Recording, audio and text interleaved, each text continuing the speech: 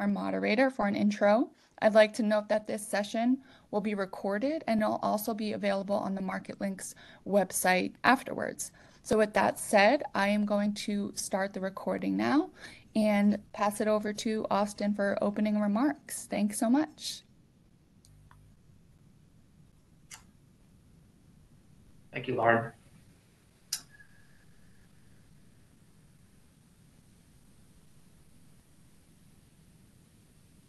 Running? There we are, slides. So hello and welcome to Navigating Co-Investment Grants, Lessons from Market Systems Development Programs. As we're pulling up the initial slides, this webinar is hosted by Marketlinks in collaboration with Land O'Lakes Venture 37 ACDI VOCA, and DAI Global. Today's webinar will examine the initial phases of co-investment grant partnerships with lessons learned from three USAID-funded market systems programs. Next slide, please. During today's 60-minute webinar, I'll briefly introduce our panelists, give a short background on co-investment grants in a market systems development approach, and then jump into our panel discussion. We will then be able to wrap up the session with about five to 10 minutes of questions and answers. So please, as we go through, put your questions in the chat function. Next slide, please. My name is Austin Musso. I will be moderating today's discussion. I'm a senior program manager with Land O'Lakes Venture 37 in Washington, D.C. I currently support grant programs for two USAID-funded market systems development programs. Next slide, please.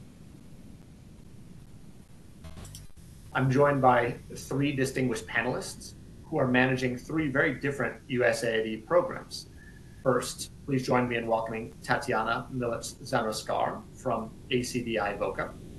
Tatiana is the Transformational Partnership and Innovation Fund Manager with the USAID-funded Big Small Business Project in Serbia. Next, we are welcoming Gwendolyn Oliver Armstrong Tweed from DAI Global. Gwendolyn is the Grants and Partnership Manager with the USAID Southern Africa Mobilizing Investment Project, and she is based in South Africa. Lastly, I'm excited to welcome my colleague at Land O'Lakes Venture 37, Lucia Zigiriza. Lucia is the Chief of Party for the Feed the Future Rwanda Orora Wihaze activity. Next slide, please. All three of our panelists are supporting co-investment partnerships through a market systems development approach. When most development stakeholders think of grant making to local partners, it's common to think of funds being awarded directly to a local NGO to implement a new activity or perhaps to an educational institution to conduct research. The full benefit of the grant often goes through that one recipient and to their direct beneficiaries uh, with limited expectation of co-investment, co-partnership in a market systems development approach, implementers are challenged to co-design grants in partnership with a variety of different market actors from this slide, with the ultimate goal of influencing the broader ecosystem with which market actors operate, ensuring the market actors are leading the transformation process. This is primarily done through partnerships with the private sector that will provide leverage or cost share as co-investment but it should be closely aligned with the public sector systems, strategies, and goals. If the co-investment grant is successful, the benefits, impacts, and learnings of the grant should not be felt by just one entity, but impact multiple market actors. During our discussion, you will hear our panelists speak about how they engage with the different market actors on this slide and how they are taking a facilitative approach to bring about changes in the market systems they are targeting. Next slide, please. To award grants through an MSD approach, there are a few common steps in the grant cycle that we'd like to refer to today. First is uh, welcoming, welcome Tatiana. Um, Thanks. so the, the, with looking at the grant cycle, the first step is understanding the current opportunities in the market system, developing a market system change strategy, and developing your grant approach to guide how you'll partner with those market actors with this information in hand, you can engage potential partners, especially the private sector, to begin co-creating potential solutions for market systems issues and craft a formal partnership solicitation. Think of requests for applications, annual program statements, and other solicitation mechanisms to request concept notes or applications from market actors. Following the release and competition of your solicitation, you can identify specific market actors who responded and met your evaluation criteria and move into co-designing the activity with these entities as partners. With the project designed, the partner will lead implementation while both parties are continually monitoring and adapting throughout the life of the project based on the market dynamics. When the award period ends, implementers will make a focused effort to measure impacts and learn as much as possible about the successes and challenges of the grant. In a market systems development approach, the grant process is really iterative. Um, often it's not fully closing, but allowing us to learn, adapt, and evolve to build upon identified successes with additional market actors. In today's conversation, we'll specifically focus on the first three steps that you see in this cycle. Next slide, please. I will now hand the microphone over to our first panelist, Tatiana Milic-Zanoskar from ACDI VOCA, to introduce her current project in Serbia. Next slide, please.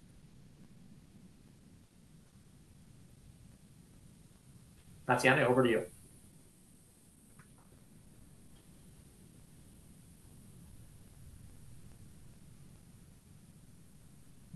I think we may still have some sound issues. Mm -hmm. Can you hear me now? Yes, we can hear you now. Thank you, Tatiana. Okay. Hello. Uh, I'm Tatiana from Serbia. Greetings to all.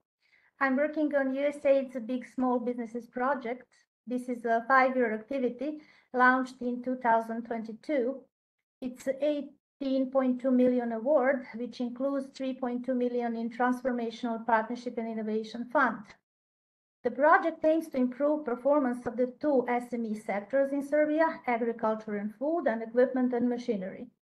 The project efforts are centered on private sector initiatives, co-creation, co-design, and partnership development. Market system changes in a complex environment like Serbian require facilitated and adapted management to ensure that the lessons learned are incorporated in our future actions. The example I want to present today is a partnership developed between the private service provider, Center for Business and Innovation Support from Serbia, CPIP, academia, secondary vocational schools, and local municipalities. Uh, this activity responds to the market demands of small metal processing firms for qualified workforce and professional support to help them improve their production our grantee, CPIP, introduced solution, which is the practical methodology called rapid product development, the application of 3D printers in creating a wide range of prototype products for the metal industry. The grant helps the establishment of Service and Educational Center, RPD Hub, which offers opportunity for young students to acquire specialized knowledge and uh, practical skills to bridge the gap between uh, the current educational system and the SMEs demand. It also provides targeted industry support for local SMEs. Uh, with three complex prototypes created and 108 participants involved, including 26 uh, faculty students and 55 high school students, and uh, also 27 SMEs, this activity demonstrated success of a market system development approach in fostering innovation, education, and workforce development with strong inclusive component. Thank you. Next slide, please. Thank you, Tatiana, for introducing the Big Small Business Project. I would now pass the floor over to Gwendolyn Oliver Armstrong Tweed from DAI. Next slide, please. Thanks. I'm coming from South Africa. I'm working on USAID Southern Africa Mobilizing Investment. Um, this project uses a combination of grants and technical assistance to support partners within the private sector in, in the Southern African region to kind of catalyze and mobilize in the mobilization of capital and to strengthen the skills, relationships, and information sources and flows necessary to change market behavior and the dynamics across the investment ecosystem in the region within we've only been around for one year Um, we started our first notice of funding opportunity last May. So within the first 12 months, we've been able to award 7.2 million in catalytic grants within the Southern Africa region, which has been immensely impactful for the investment ecosystem. One of our grant partners, Savant Capital, has been awarded a fixed amount grant award for their build program. This grant supports Savant's accelerator program to Mm-hmm. improve a portfolio of deep tech startups and to improve their financial sustainability which in turn makes them good pre-seed and seed investee companies for Savant and other venture capital funds within the region. As a result, the grant serves as a to create a seed capital facility for the build program of Savant. This facility will grow based on the performance of the companies that successfully graduate from the build program and attract additional capital, seed and series A funding. The seed capital facility component is revolving and based on performance ultimately allows Savant Capital to fund future cycles of their build program. Um, again, we have about $13 million to still work with that we'll probably award before uh, the beginning of our third year of, pro- of implementation. Over to you, Austin. Thanks, Gwendolyn. Really interesting. Um, let's go to the next slide, please. Uh, our final panelist will be Lucia, Lucia Zigariza from Land O'Lakes Venture 37. Over to you, Lucia. And next slide.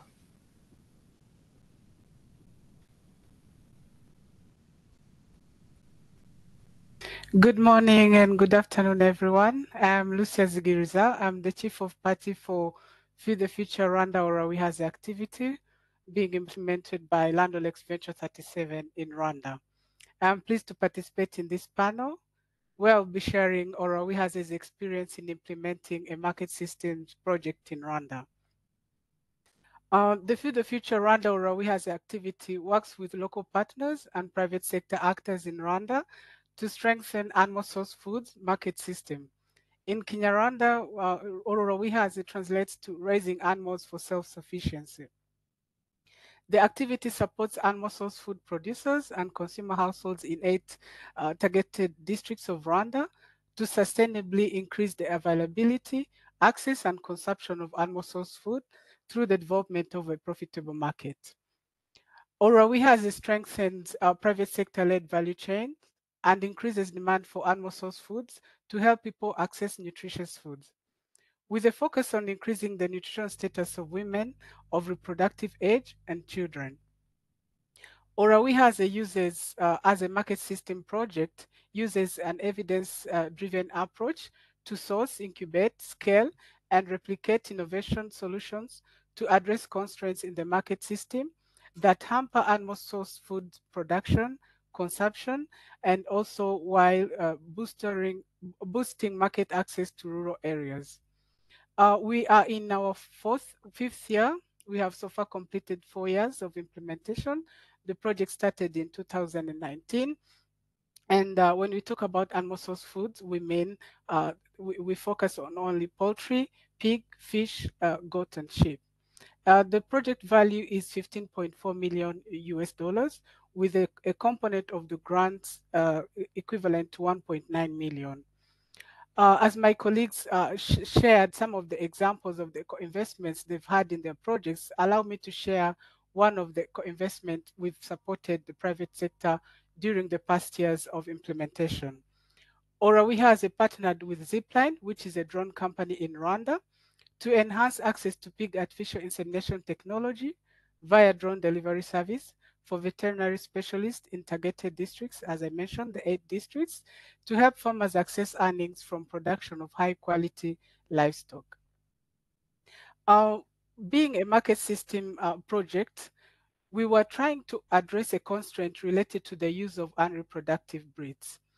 Through these partnerships, uh, these drones uh, that are being uh, facilitated or led by Zipline, they fly and deliver products packages at high speeds uh, to different locations, even covering far distances within a short period. And for a case of a, a country like Rwanda that is hilly, uh, for farmers to access such services, they usually have to spend like three and a half hours to go look for quality breeds. But with this improved technology, it only takes like 20 minutes to have these services. So partnering with Zipline has helped to cut down most of the costs that uh, costs that the farmers have been incurring and has helped to increase access to breeding services. This is one of the examples that I've shared, but we have over 255 investments that we have facilitated that are led by the private sector here in Rwanda and focusing on only those four value chains that I've mentioned. Thank you. Thanks, Lucia. Now let's bring all of our panelists together for the first time. We'll start with the first section of the MSD grant making cycle, which is really about understanding the current opportunities in the market system, developing a market systems change strategy, and developing our grant approach to guide how we'll partner with market actors. We know this first step alone, especially when it comes to developing a market systems change strategy, could warrant a whole series of MSD webinars. So with the limited time, we're just going to touch on this very briefly as it relates to grants. Our first question is going to be for Gwendolyn. Gwendolyn, you mentioned recently starting up a grant making program in, for the Southern Africa Mobilizing Investment Program and already getting a lot of funds out the door to the private sector. You know, what are some considerations to be made when designing a partnership approach and a grants manual? You know, things that are not normally discussed or might be forgotten that could impact implementation much later in the project. Sure. Yeah. Thanks, Austin. So there's a number of things to consider one, adapt your grants manual to work within the market system strategy of your project customize to customize notice of funding opportunities or NOFOs, uh, thinking about the audience you're trying to reach, the sector actors that could potentially have leverage within the ecosystem and the context of the funding within the countries you're working in as you're designing the project's um, partnership approach. Three, reduce administrative burden to the private sector and speed up the internal evaluation process of the project by creating simplified templates for application submission. This could be keeping the page limits very low or utilizing pitch decks. Ensure that your entry points to the project are very user friendly and tailored for a very targeted audience. For collaborate with USAID. On mobilizing investment, we have had a very collaborative uh, relationship with our USAID counterparts at every point along the grant process flow, from modifying the default approval thresholds within our grant manual to reviewing with USAID our shortlisted concepts along the way, which has ultimately sped up the evaluation and approval timelines of our grant awards exceptions, things to think about. One of the driving principles of market systems is building the brands of the private sector actors the project works with. And in order to do this, it may be necessary to get USAID branding and marking exceptions prior to the project uh, issuing grant awards. So this was something that USAID Mobilizing Investment was able to do with our USAID counterparts at the Regional Southern Africa Mission. Um, this has been extremely impactful to the market for mobilizing investment uh, grant partners. Six, think about what type of grant agreement instruments you're planning on using. Um, think about you know using fixed amount awards or renewal awards that are not as administratively burdensome to the private mm-hmm. sector actors that you work with. Um, you these are different instruments that you can that can use to test activities in the market. Um, they're very adaptable and they're easy to amend within the period life cycle of a grant. Training during a project startup, build an internal project team beyond the grants team that is trained in facilitation and the project's partnership agreement approach. And finally, when developing the indicators for your project, try to find the right balance with Yemeni indicators between what is driving business decision making for your partners and what USA needs for reporting purposes. So these are just some of the number of things that we thought about on mobilizing investment uh, when kind of deciding our strategy for partnership engagement. There's so many more, but we don't have enough time to go through them all. Thanks, Gwendolyn. Uh, can we go to the next slide? And we're going to go one more. And my this is going to be the question for Tatiana and Lucia. So, Tatiana and Lucia, based on your experience in Serbia and Rwanda, you know, aside from public calls for proposals and RFAs, you know, what are some approaches you have both used successfully to identify potential private sector partners, especially knowing that private sector actors may have never applied for donor funding in the past? So, any recommendations you'd uh, you'd provide to us, uh, Tatiana? I'll go to you first.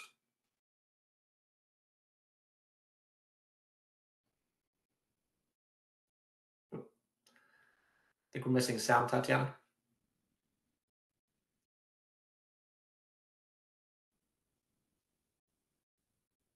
Can you hear me now? Yes, thank you. Go ahead. Okay.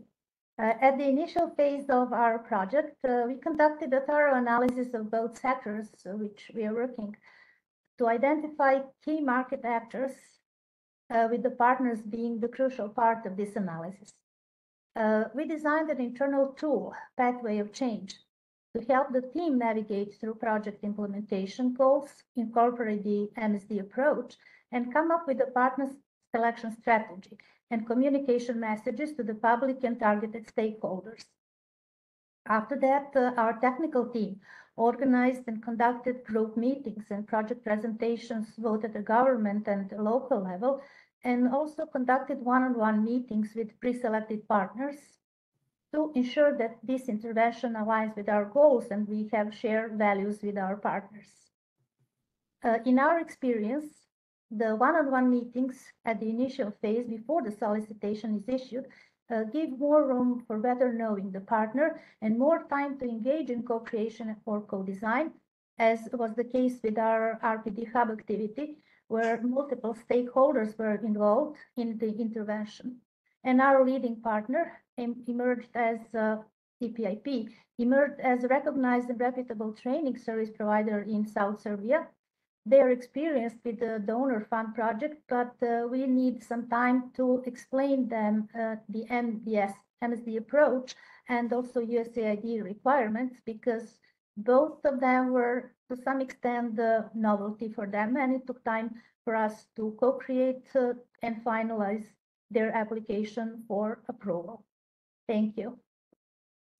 Thank you, Tatiana. Over to you, Lucia.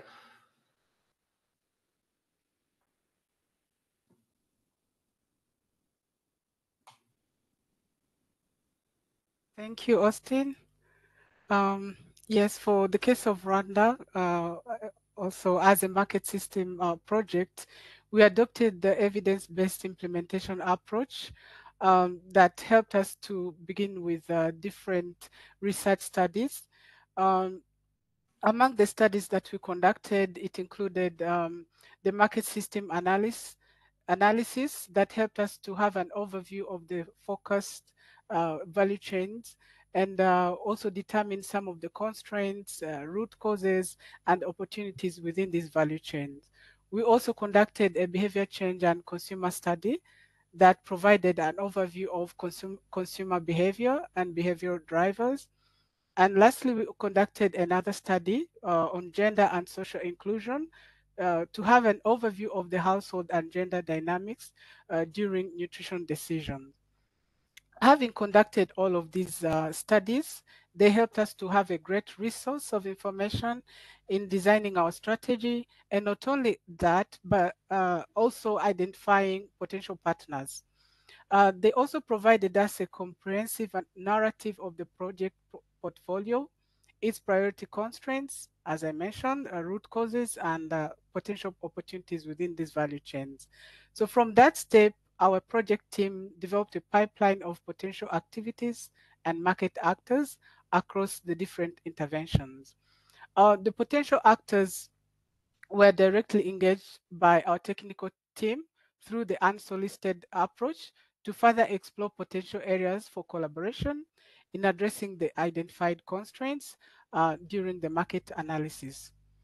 Uh, the team continuously screened uh, these uh, potential uh, partners and activities to determine whether they should progress to the design and co-creation phase. And this has to first of all go through the approval by the technical team. And when that was approved, uh, the technical team moved forward with this co-creation process to ensure that the proposed innovations by these private actors are well aligned with the project objectives.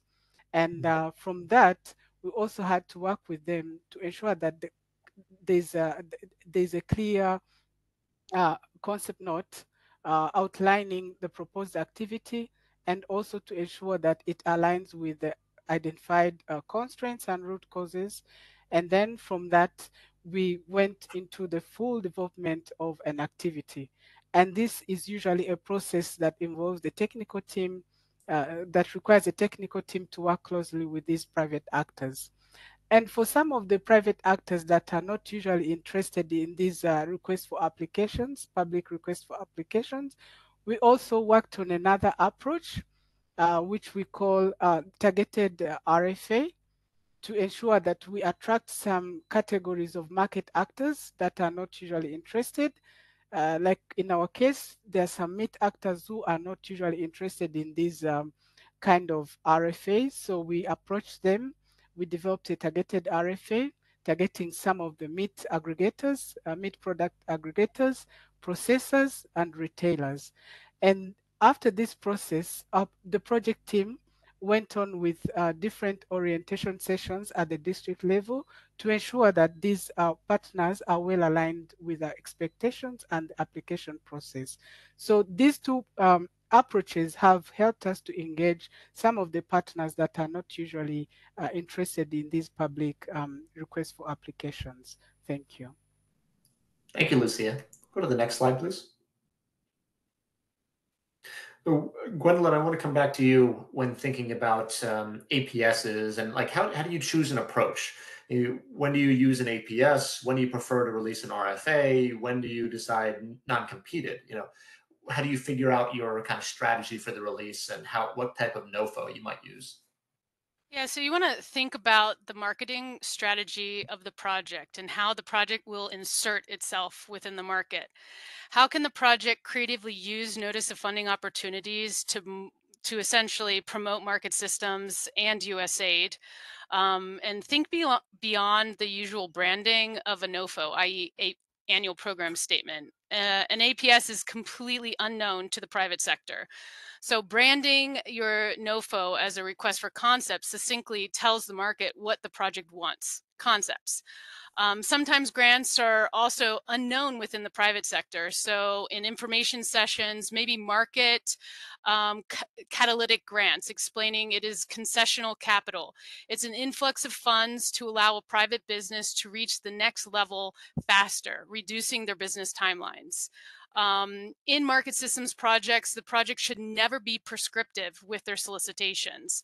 It should be very responsive. So utilizing requests for concepts allows the market to inform the project what is needed.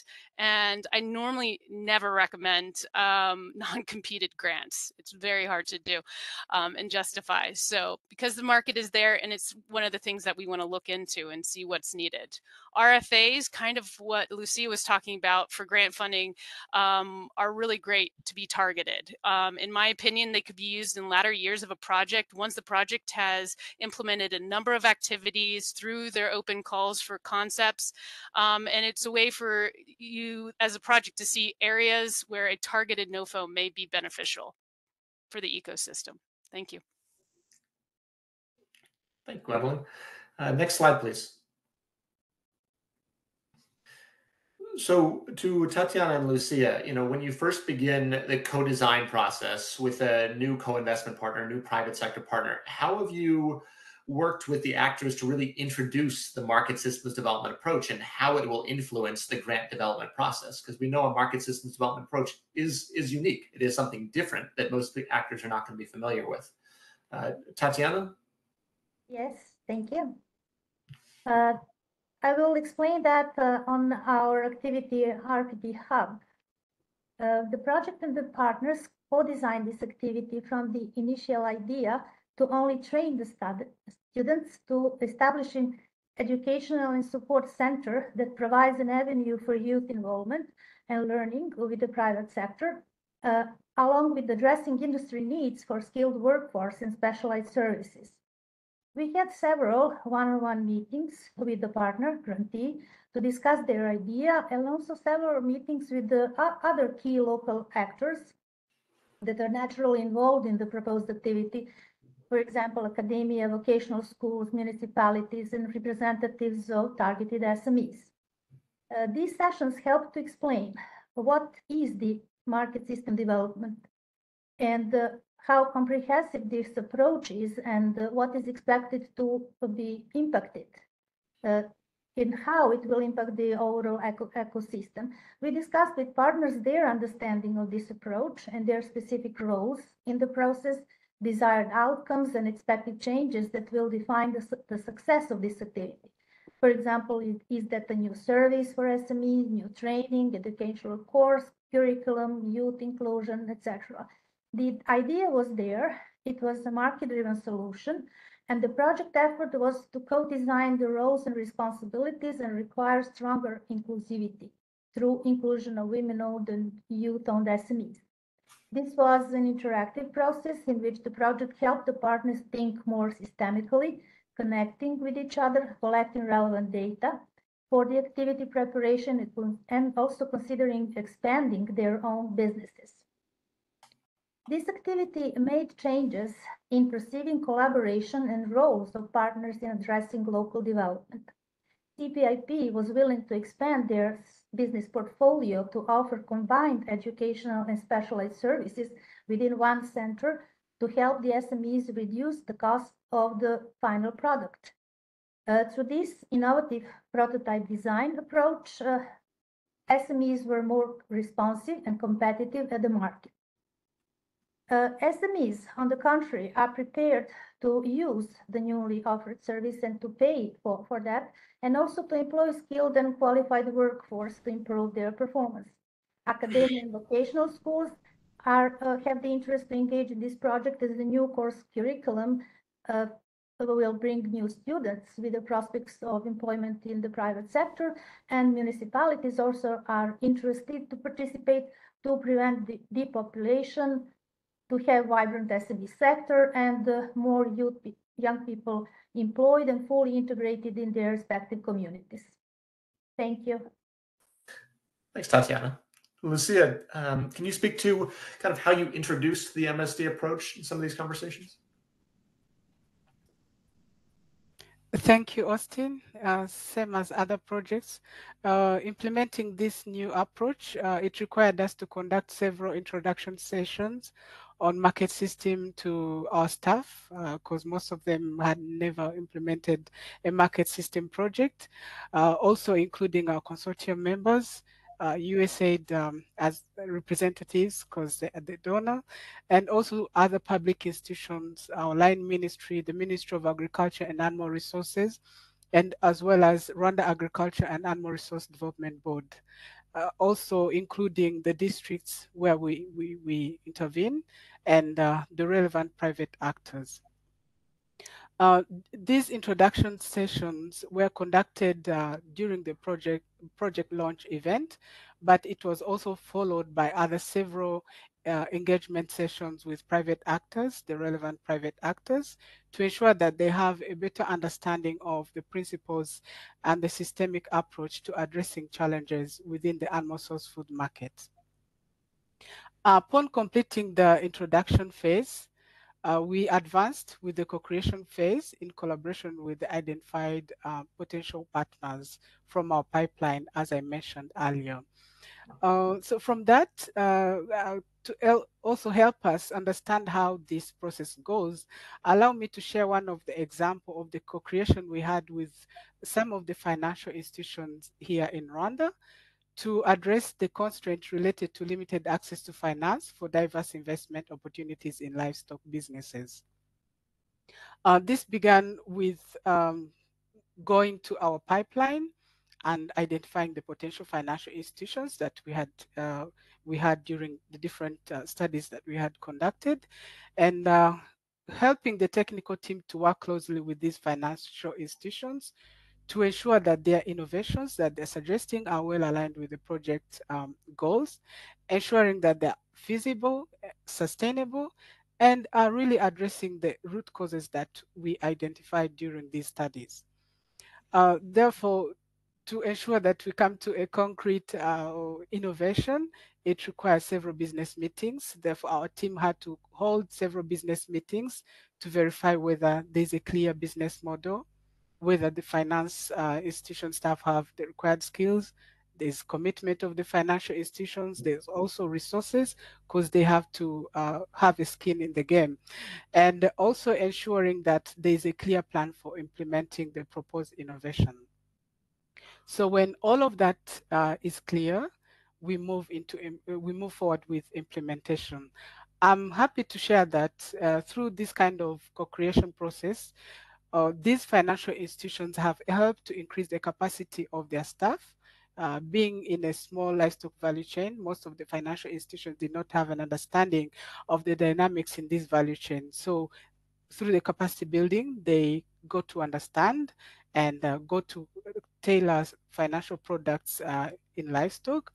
They also developed digital uh, solutions um, because some of them there were there were microfinance institutions that were still using papers and uh, it, it, it's such a lengthy process so they moved to the digital solutions which cut down the loan processing period and uh, we also worked with them to increase the awareness so that the users can get to know the opportunities within the financial institutions and then break the barrier that they have in terms of access to finance so um, with that, they're able to have uh, uh, the working capital they need to, to buy different inputs for their businesses in livestock, uh, buying uh, feeds, buying vet services, and also be able to reach economies of scale.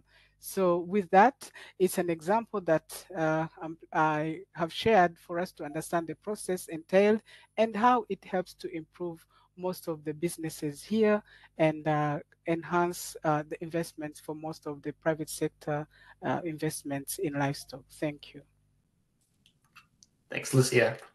Go to the next slide, please, and talk more about uh, co-design, partnership identification, you know, how we really partner. And Gwendolyn, I want to come back to you. You know, um, grants or subawards are assistance mechanisms that are routinely used here, but we also know that subcontracts could also be an important tool uh, for some market systems partnerships, right? You got to have a lot of tools in the toolkit. Um, can you speak to when subcontracts might be a better fit than a subaward? Sure. Normally it's under technical assistance um, that you want to Am I on mute? No, I'm okay. Sorry. Um, so, in my opinion, grants are highly beneficial for a market systems project um, as it allows the private entity to manage all aspects of an activity's implementation, build relationships with auxiliary vendors, begin to gain a track record within the market, and build their own brand. Um, if a project only has a procurement fund, it's it's not necessarily the best mechanisms for a market system project because if you're wanting to, as I said before, allow that uh, entity to grow within the within the industry they're working with, they can't necessarily receive uh, subcontracts. Um, procurement needs to be managed by the project, and it's defined by U.S. Uh, government uh, competition requirements. So, funds can be managed um, unless it's can't be managed by the partner unless it's um, you know properly competed uh, within the market. So when you're when a project is being designed you know kind of like at the uh, usaid rfa rfp stage you know allowing a project to have a mixture of grants and procurement mechanisms to pull from is the most ideal design for a market systems project. Grants can be utilized by the partners, while a procurement slash a subcontracts uh, can be utilized by the project to support a broader eco ecosystem for multiple beneficiaries benefit. So you want to use subcontracts for a large number of beneficiaries. Um, a lot of times um, that can be done through technical assistance, especially if you're working on regulatory um, needs. Maybe it's a, a, international consultant coming in or even a local regional consultant to come in and assist um, the project to kind of move the needle in certain regulatory uh, frameworks. So that would be my recommendations. Thanks, Gwendolyn. Yeah, I found that to be really, really impactful to be able to work with uh, procurements and support other groups through contracts to get them ready for larger grants and really focused um, co-creation. So co-creation and co-design, we realize are so important in the market systems development approach, but they're also quite time consuming. And you're usually trying to co-create and co-design with multiple partnerships simultaneously. So I'd like to go back to Gwendolyn first, perhaps, but uh, Gwendolyn and then the rest of the team. Do you have any quick tips or tricks on how to co-design with the private sector without it taking, you know, taking months of time and keeping in mind we're, we're working on multiple at once? Yeah, so the project internally should have a collaborative technical team with the ability to facilitate, delegate, and manage a portfolio of potential partners. Um, in the pre-award stage, there should always be two tracks um, that the project is working on with a potential grant applicant. Um, you know, you have the project will be led through the co-design of the program uh, description by the technical team and then you have the a grant lead that will be running the the grant uh, potential applicant through the due diligence track. Um, so they can be going simultaneously with the partner. And you have a number of uh, staff members helping a portfolio of different applicants. Um, so hopefully you have the capacity um, to look at the number of grantees that you could be having being churned through at a time and have the number of staff that's needed. And I normally think that uh, for you know a grant portfolio, one person can probably manage about 10 to 12 of those uh, partnerships at a time, um, especially in the pre-award stage. As the program description starts coming together, you want to start looping in M&E and communications prior to award. It's key to ensure the proper understanding of the partnership from all parties um, up into the ward so they know what they're getting into after award when it comes to communications how what different audiences we're working with what are the indicators do you have tracking indicators or are they target indicators? Um, you want to involve the project's usaid counterpart in the co-design process from from as soon as possible when applicable um, because they want to be involved in that process. Invite them to meetings with the with the potential partner. Um, it really gets their buy-in early on before they even see the grant that is going to be awarded. The project should always be moving as fast as the, as the partner applicant. If a partner cannot work on the grant application due to an investor committee or other business activities, it means that that project support is just a small piece of the applicant's business plan and that partner is a serious entity in the market. Um, so they're really great to be working with. And that's a great story to be telling. Oh, well, we can't, you know, meet with this because they're meeting with their investors. That's a great story to tell USAID. It's essential to ensure the internal workings of the project are working in tandem for the partners, um, communicating expectations and facilitating the entire process to award. Thanks. Thanks, Gwendolyn. I'll pass it over to Tatiana. Any brief points you'd like to add? And can we go to the next slide as well? Tatiana, to you. Yeah, basically, uh, what we did on, on our project uh, is uh, developed uh, the aforementioned pathway of change. Uh, well, this uh, helped us to select the co-creation or co-design approach. And also, it helped us prioritize the uh, initiatives that really can uh, be most uh, can fast track to the approval.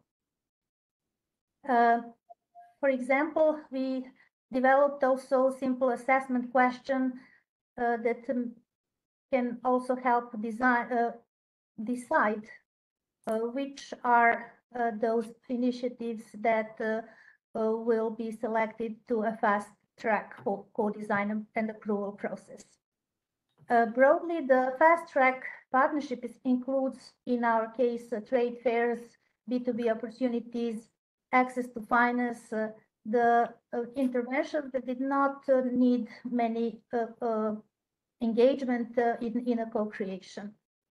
one of these initiatives is, for example, um, the conference uh, that brings uh, together buyers from the EU market and suppliers from Serbia, which uh, actually enhance uh, and increase sales opportunities for the, for the sector of machinery and equipment, and also save uh, the money for uh, SMEs because we are bringing the potential buyers to a well-organized and designed event in, in Serbia rather to spend time traveling abroad.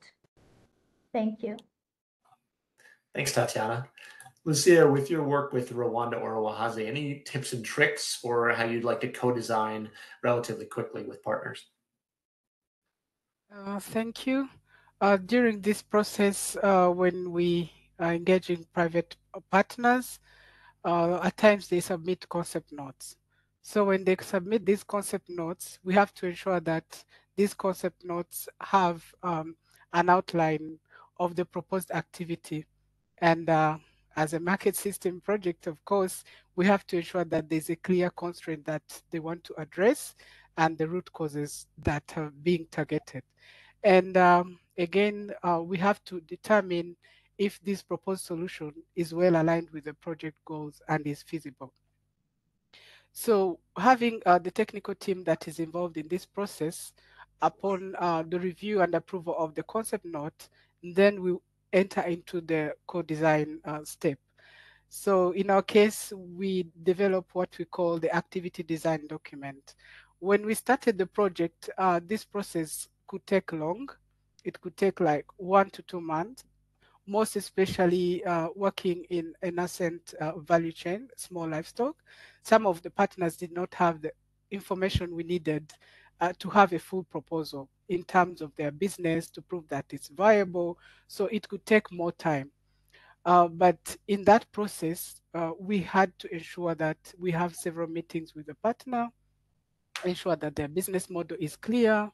We have the result chain to ensure that we achieve what we, we, we want as a project, and also checking whether it, it has the potential for scale and also not forgetting uh, cross-cutting themes like gender and social inclusion, environment considerations, and we also have to consider some of the risks that might be in this innovation and uh, put up some of the mitigation measures.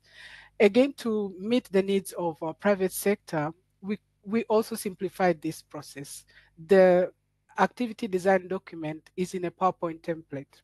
When we began, uh, the, the, the PowerPoint could go to 60 slides, but in the as time went on, we went on simpli simplifying the process. At this moment, uh, the, the, the template has reduced to 25 slides in order to adjust and meet the timelines of our partners. And not only that, even helping the reviewers, don the donor USAID, to have um, a document that is uh, user friendly. And uh, again, to cut down the time it takes in the co-design process, we had to ensure that the technical team involved, be the grants team, be the MEL team, are part of the design process. Because if it's done uh, in a simultaneous um, way, it reduces the time it takes um, or the bureaucracy involved in these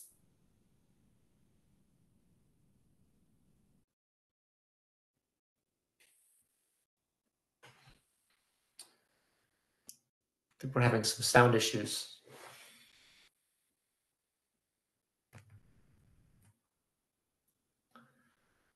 Team, is anyone else hearing Lucia? And the partners. You will allow me again to share one of the example of a partnership. Um, I hope. Go ahead, Lucia. We have you back. Okay. We lost. You. Okay. Sorry. Thank you. Yeah, I was mentioning that we had to cut down some of the steps or the, the processes, the documentations required to ensure that we meet the needs of, of the private sector. So a document that uh, had like 60 slides was reduced to 25 slides and to ensure that we involve all the technical team uh, that is required, the grants team, the MEL team, uh, and then ensure that the process is done simultaneously and have a full package that is needed for required reviews and approval by the donor. So after all of those processes, we had to move forward with the implementation since both the project and the partner had the same understanding of the innovation.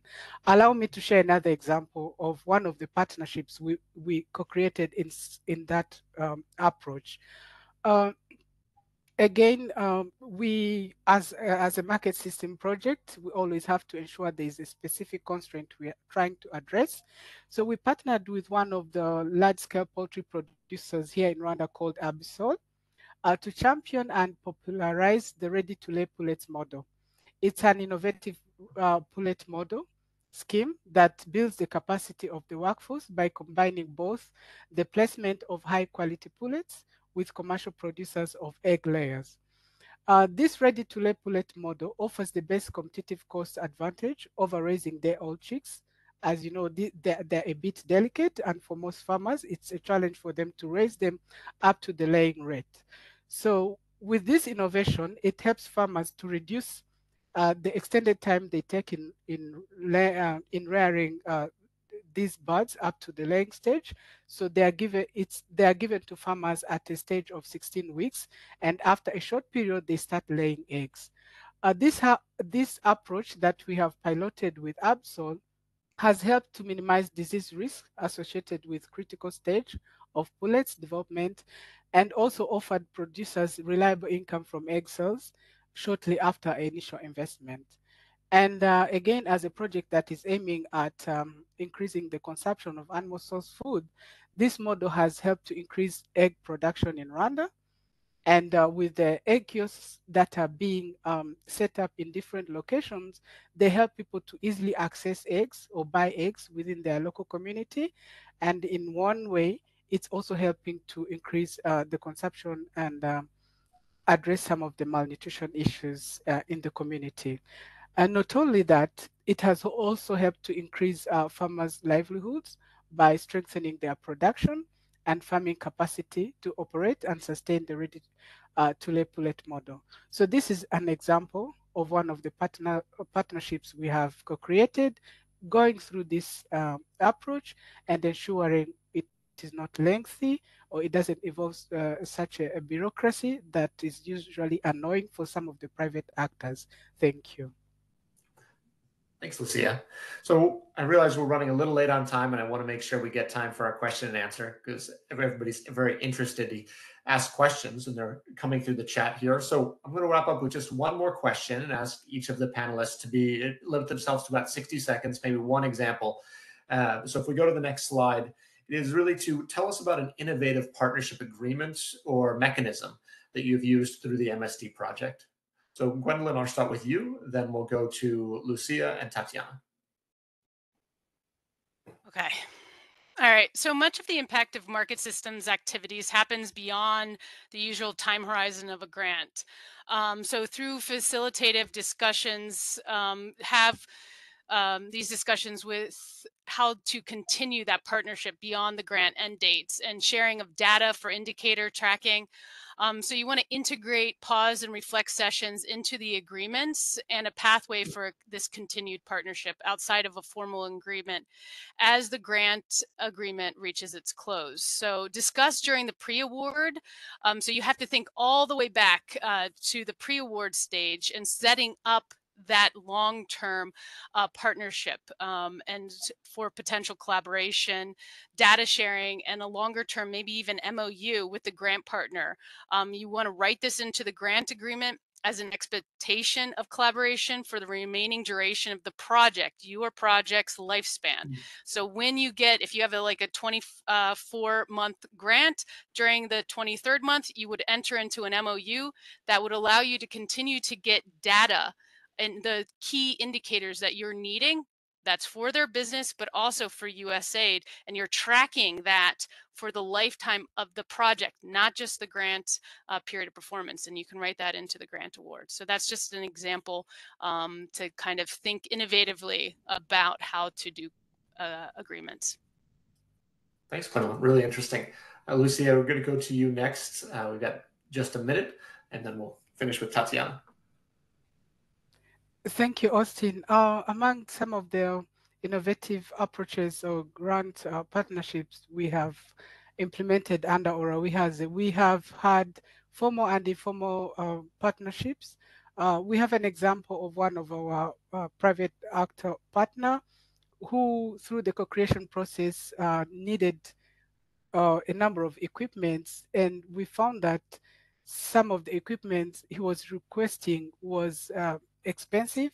So we helped him uh, to have, because he's in the egg aggregation and uh, distribution model, we supported them to set up an egg um, selling point and uh, equipping it with uh, shells. But he also needed um, a machinery to make egg trays. But the machinery was very expensive. So we, through the, the, the research um, and the market information we had, we identified identified that there was another private actor who had uh, a tray making machine, but did not have the, the, the demand. So what we supported that other private actor was to conduct a market research and help him to know who are the potential buyers of egg trays. So one of them we already had was uh, this company called Gakoproko. So we identified several uh, buyers of egg trays, uh, connected um, them, uh, made these business linkages between the egg producers and the egg tray manufacturer. So as you can see in this example, there was one partner, which is Gakoproko, who benefited from the grant, and another partner who benefited just from our technical um, assistance uh, through the market uh, research. But it helped to address the constraint that was in the market, uh, and they helped them to uh, move forward with their businesses. And another model we use under Orora Wihaze is what we call clustering grants. Uh, as a, a, project that aims at uh, in, increasing the, the access and consumption of animal source food, we have different categories of, of uh, partners. We have saving, saving and lending groups. We also have cooperatives. And looking at the pipeline that we had, it was very hard for us to have a grant agreement or, um, the, like I mentioned, the, the co-creation process for each and every saving group. So we clustered them together and did the co-creation process as one uh, for, for one category for the saving groups and another category for the cooperatives. And then the technical assistance that we provided was also uh, clustered. So this helped us to serve different categories of partners uh, through that clustering. So the documentation was done for one category, but we managed to serve 127 groups and um, 20 cooperatives. And again, we had another cluster of meat actors who also had the same business model. We had uh, about 14 butchers that benefited from our grant and uh, about four um, slaughterhouses. So similar businesses were clustered together and then the co-creation process was done like one and the TA was also done as one. So it helped it helped us to serve more private actors and address uh, some of the constraints in the uh, livestock market. So these are some of the examples I've shared for, for the benefit of saving time, but these are some of the innovations that we can use in order to serve or uh, address some of the constraints in collaboration with different uh, partners. Thank you. Thanks, Lucia. Tatiana, um, any brief examples you can share? Yes, the brief. sure. Uh, well, our project uh, encourage uh, unexpected partnerships uh, and initiatives where local NGOs are supporting private companies by assisting them in writing project proposals, reporting, uh, collecting data, analysis of data, and prepare that for their business growth. Uh, NGO obviously have better writing project proposal skills, while the private sector is less experienced with the donor's requirements, but has better ideas and are more is more adaptable to the market system development approach. And this approach we're cultivating may su uh, support and help private sector to assess different sources of funding while focusing on their core businesses. We have several successful uh, uh projects with uh, doing that, especially the projects uh, that uh, are related to agriculture and digitalization in agriculture and precision farming. Thank you. Thanks, Tatiana. Given our available time, we'll need to end the discussion there, and hopefully we can get a few minutes of Q&A with our team. So we have a few questions that have come in. The first question I'd like to start with is for Gwendolyn. Um, Gwendolyn, how do you balance, is something you spoke to earlier, but how do you balance donor visibility requirements and an MSD approach and also address the issue of restricted goods? Complex question. Um, yeah, so um, a lot of times it could be restricted goods, it could be ICT, it could be intellectual property, it could be will this grant activity receive revenue during the grants period of performance. Um, a lot of times as you're designing the program description, um, it's really good to have the grant lead be there in those co-design projects, someone that understands U.S. Reg re regulations, restrictions concerning funding. I think um, trying to figure out um, is that something that the grant should maybe pay for, or is that a, something that that that the partner could find other ways or other sources of that funding if it involves restricted commodities because the timeline or the time lag to get those approvals are just maybe detrimental to the actual project. So maybe offsetting um, that company's payroll and having them you know maybe use the payroll that we would have the grant pay for the payroll and then have them buy the restricted commodities themselves outside of the grant as their contribution um, or their their you know good faith um, as a part of the activity so that w- the grant itself is not p- buying the restricted commodity or they're not you know entering into platform design um, for ict or creating entire systems. So thinking about and strategizing working with the partner to find other ways um, to fund the business activities of the partner uh, i think for and making sure that it's an allowable um, and allocable um, expenditure line i think are ways to during the co-design process that you can really work it out um, and find ways to implement a number of different activities but not trigger a number of restricted commodity um, things that would just derail um, the the implementation process. I hope that's answering it. I think so. I'd like to go to tatiana with a question as well. Uh, tatiana how do you work with other programs in a given area to reduce overburdening the same partner or duplicating grants that have been provided to the same partner earlier? Um, and what do each of you do um, differently in grant design to encourage participation of women-led businesses? So how do you engage women-led businesses? And then how do you avoid going to the same partner that other entities might also be seeking to work with in Serbia? Well, in, in Serbia, uh, we have um, a small country and a lot of donors, so we know each other. and we uh, also do a, a, lot of conferences and uh, just uh, trying to uh, avoid all overlapping between us. We are discussing what are their approach and uh, what is our approach. in most cases, other donors are approaching central government to try to uh, make some changes in the ecosystem that is within the government uh, responsibility. We, on the other hand, are implementing locally uh, led activities, and we are working mostly with the local communities uh, and the local partners to design the activities that spur their, their, their local, local development. So uh, in that sense, uh, we are complementary to uh, the uh, other donors uh, which who are doing this on the government level, and we are doing that some of that initiatives down to the local level. Thank you, Tatiana. Um, I'd like to go to Lucia and maybe Gwendolyn, you could speak to this as well as, you know, we have these complex grant processes that we go through and we have an ideal pathway that we think it should go and check off all the boxes you know where do you find that pathway is often breaking down and you're having more challenges? And why do you feel like you're having challenges with that particular step? Uh, thank you austin. Uh, as i mentioned uh, before we used to have a challenge uh, moving from the concept note to the full activity design uh, process uh, we, we usually encounter the challenge of not having enough information to be able to develop a full proposal. Um, mainly it's because most of the partners uh, didn't have a clear business plan in place.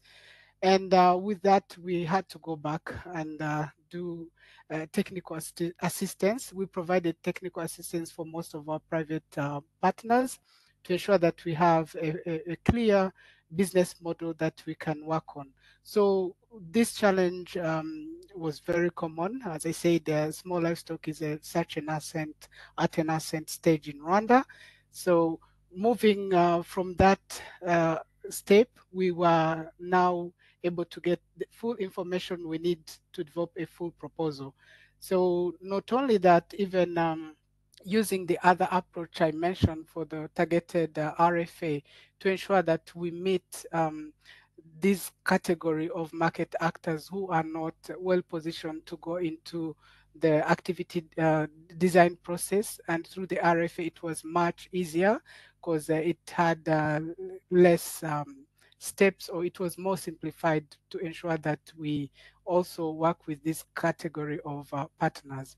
So in, in, in this, uh, in this uh, approach, it requires to have a strong private sector uh, which was not in the, the, case in Rwanda for small livestock. But when all um, is available in terms of a clear business model, it's usually easy to co-create um, an activity with them. And uh, during our third year, uh, close to our fourth year, it, it was more simplified and it could take even uh, a month to finish the process that used to take like more than two months.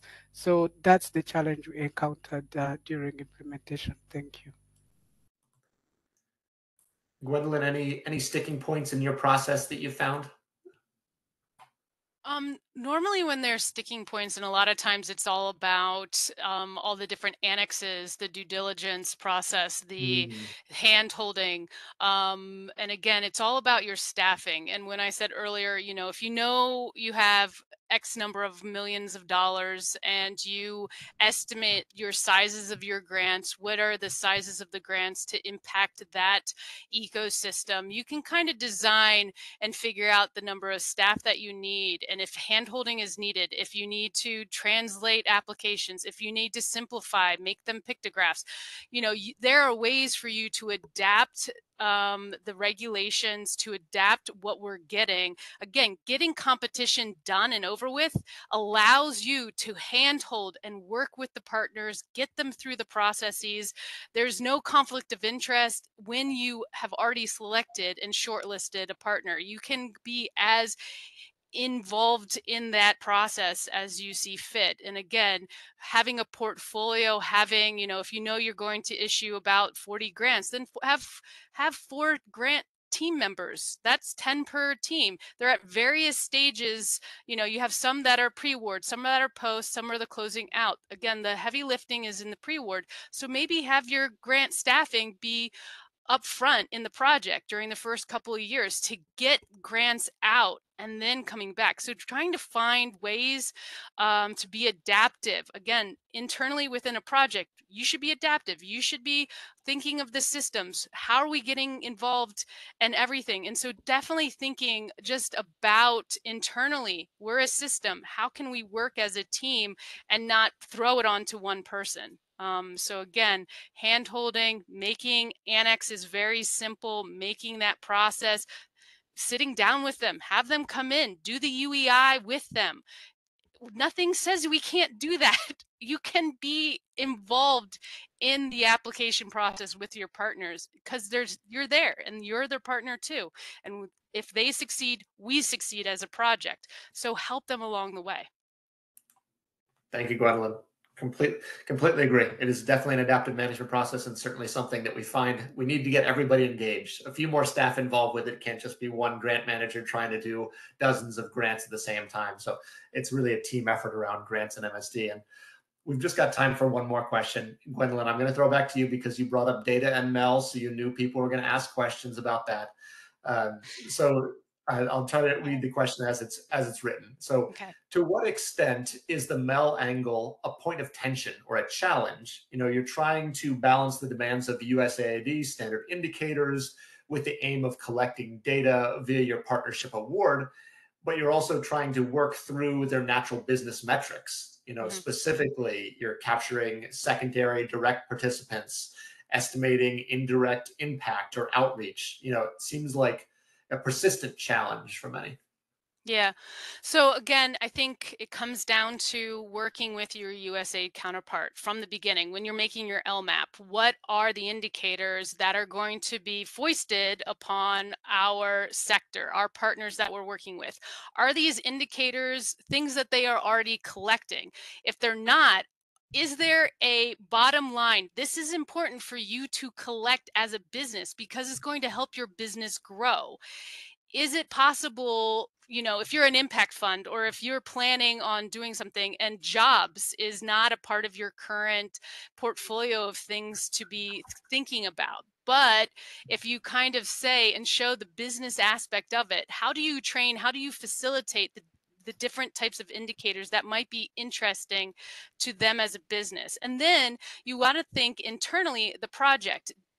are there indicators that we don't need the partners to be providing to us we can kind of glean this these indicators from maybe the market from maybe data research from just you know maybe doing surveys spot surveys um, when you're thinking and setting up your grant agreements and the indicators think about collecting targets beyond the grant period of performance you know there again as i said market systems has a very long term trajectory of impact. And so again setting it up front that these are indicators but they're indicators for maybe four years from now when the project ends that you want to collect that data from them you've had two years to train them on how to uh, receive this data, how it's important for their business, why it's going to have that impact within the market. Maybe it'll allow them to get other types of funding. Maybe an investor wants them to be an impact fund. Maybe they're in certain sectors. So you're kind of moving them in the direction of thinking of critically about certain indicators. You know, what is um, the deployment? What is capital raise? What are the jobs created? Are you able to, you know, reach certain targets? Um, so again, I think it's very facilitative with your USAID counterpart to figure out which ones we're going to put onto the grantee and which ones the project ourselves will will master. And then again, thinking about the timeline of when to collect data that it could be for the entire span of the project. Thanks, Gwendolyn. I, I know we have a few more questions. I think we're going to have to wrap up for today, but we'll do our best. We'll review those and see if we can send out some responses in writing to the team. But for today, I really, it's a great conversation we're starting. I hope we can continue it in other venues this year. Um, if you go to the next slide, please. On the next slide, you will see, let's see, we're moving over. Oh, I think we should have one more with a few resources slide. There we go. Um, so if you're interested in learning more in the coming days, we'll, we're going to circulate the PowerPoint. It's going to include some of these links. We'll try to include some answers to additional questions we received. I want to highlight that our friends at ACDI/VOCA have recently published some operational guidance on adaptive partnerships, and I would highly recommend looking at it. It's linked in here. Found it really insightful. Um, just engaging new partners, especially local and private sector partners. Um, also, there's going to be an upcoming clinic series called Adaptive Partnerships for Systemic Impact that's going to be facilitated through the USA, the Feed the Future market systems and partnerships activity. So this will focus on overcoming the operational and procedural challenges faced by MSD projects seeking to partner dynamically with a range of partners, particularly the private sector. Uh, the clinic seeks to draw on experiences and learnings from peer organizations when it comes to facilitating new types of internal conversations between HQ, the projects, you know, across both technical and operational domains. So stay tuned. You're going to hear more about it in the future, but uh, a broad call of interest will be sent out about this upcoming series. Additionally, as we had Lucia on the on the call today from Venture 37 and Orora Wihaze, the Orora Wihaze team recently released a nice blog on the poultry market in Rwanda, which I've referenced here. And Orora Wihaze will be releasing an outcome harvest study in the next few months, showing data actually across the full five years of work there in Rwanda. So I think you'll find it interesting. We'll make sure to post it on Marketlinks. And we want to thank Marketlinks for being an amazing host. They have put on an excellent webinar. It's been a pleasure working with them. And they're also a great resource for market systems information. They have a wonderful listserv that'll keep you up to date on the latest news and resources in this area. So if you're not registered there, I would highly recommend it. And next slide, please. And with that, we're going to wrap up today and just say thank you to everyone for joining and special thanks to our panelists, Tatiana, Gwendolyn, and Lucia for sharing your experiences. Wishing everyone a, a great day. Thanks for joining. Thank you, everyone. Bye. Thank you. Thank you. Bye. Thanks, everyone.